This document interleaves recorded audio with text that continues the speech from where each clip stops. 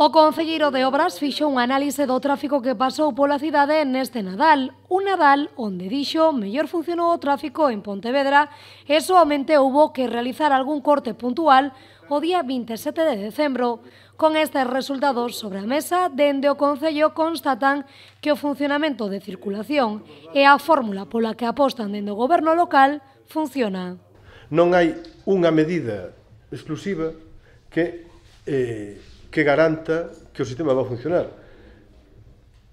O afinamento dos semáforos, o traballo da policía, os circuitos nas rúas, os modos de aparcamento, o modelo enteiro é o que funciona como un reloxo e fai que non, te, que, eh, non teñamos problemas. O que si se constata é tamén que eh, o asunto da Praza de Barcelos, a reforma da Praza de Barcelos, supón que se lle puxo, polo menos nunha zona da cidade, un, o ramo de xeito moi importante a, a todo este sistema para que funcione eh, correctísimamente. Con este modelo funcionando na rúa, dende o goberno local xa están traballando na redacción do proxecto da reforma na rúa Benito Corval e no anteproxecto da rúa Lepanto.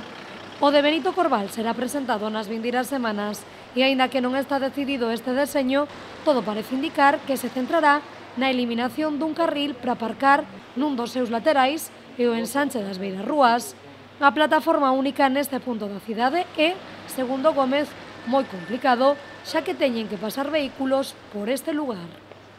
Entón, claro,